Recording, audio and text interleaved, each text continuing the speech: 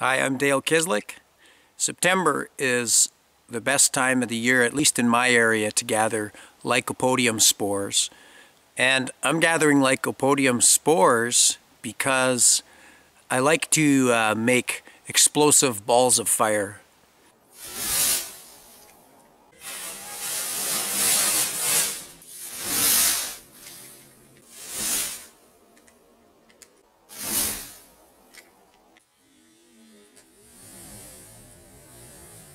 Keep going.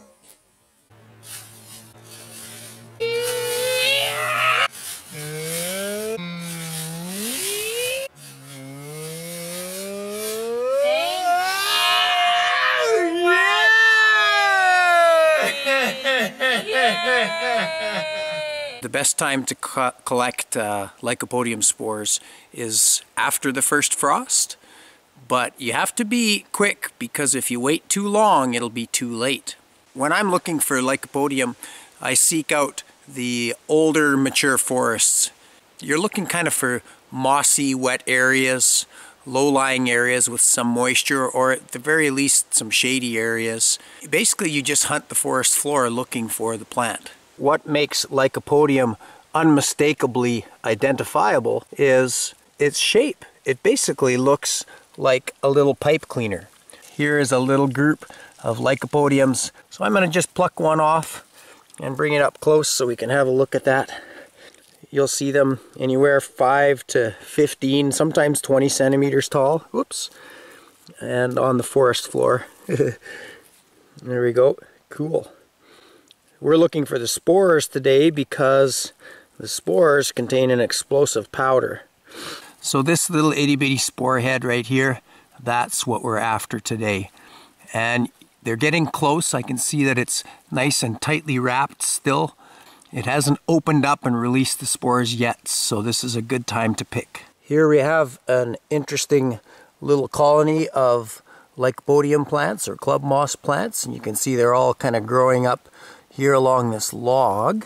And you, you know, what I find usually is patches of them. They grow in a large group and you take a few steps, walk 10 or 15 meters in a big circle and you'll usually cover the whole size, at least that I find on a regular basis. And then you go beyond that perimeter and suddenly they disappear. So you have to look for another patch.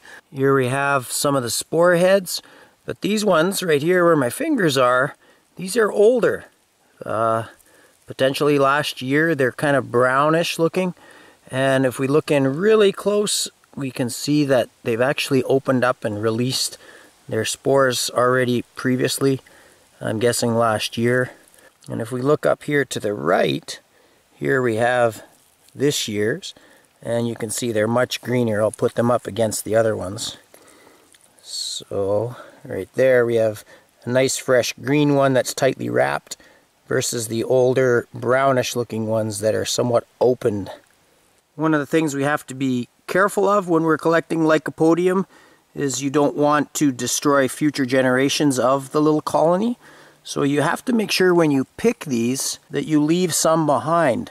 You don't want to totally decimate all the spore heads in one area where you diminish the ability for the plant to uh, spread and continue on flourishing. So I try to only take maybe a third to a half of the ones in an area.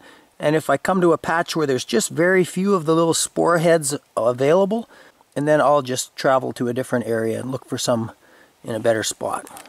You don't require harvesting the entire plant. There's no need to pull it up by its roots or even to take much of the pipe cleaner part of it.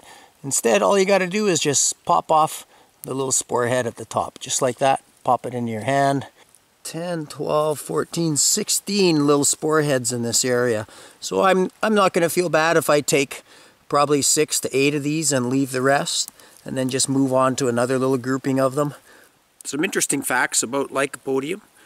It's widely used as a homeopathic remedy. Uh, I'm not a homeopath and so I can't speak to that.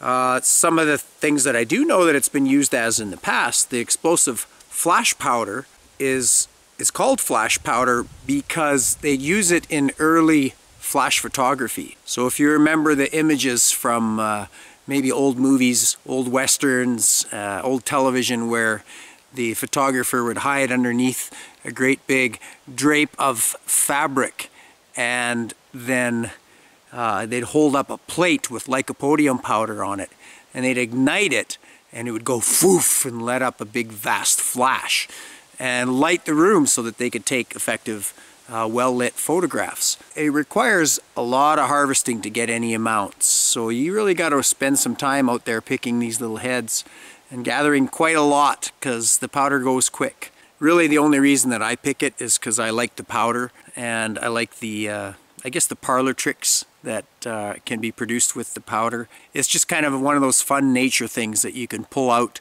and amaze people with.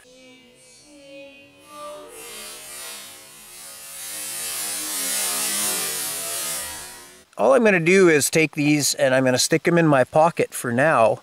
And when I get back to uh, my vehicle, I'll put them in a container.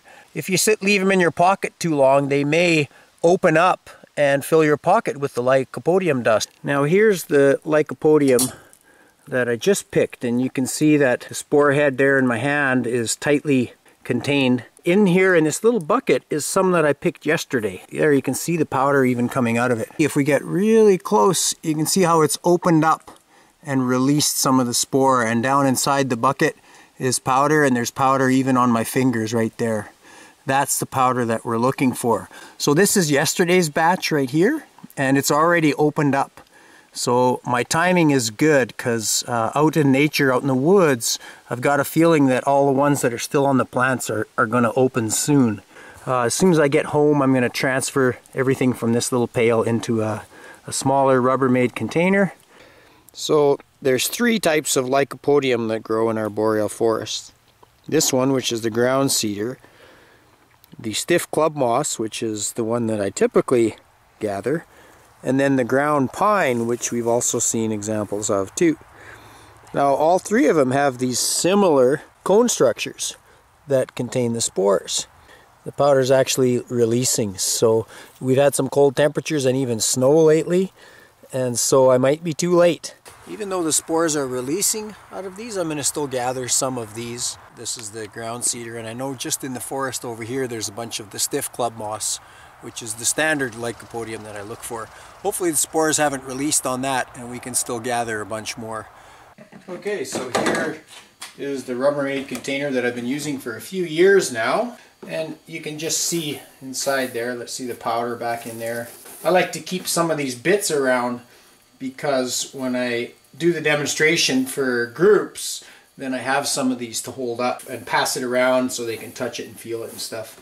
And then it's a simple matter of removing all of this and then running it through a strainer, something like that. Uh, and you can get smaller and smaller strainers until you wind up with a container full, like I have right here. Now this is years of collection years of collection and there you can see the lycopodium it's coated my finger it's silky soft and that's why in some cases it has been used for diaper rash uh, because it prevents chafing of course when you have diaper rash in babies. So we have a little container here with a few tools that I use with the lycopodium. I have a little funnel and I have this little opening door with a nice little scoop on it.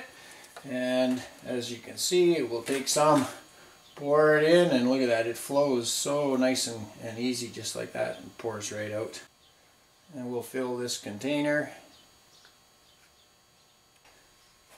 close that up some other interesting uses for a lycopodium uh, the powder has been used to coat pills so that pills don't stick together. Uh, it's also used to coat microscope slides so they don't stick together.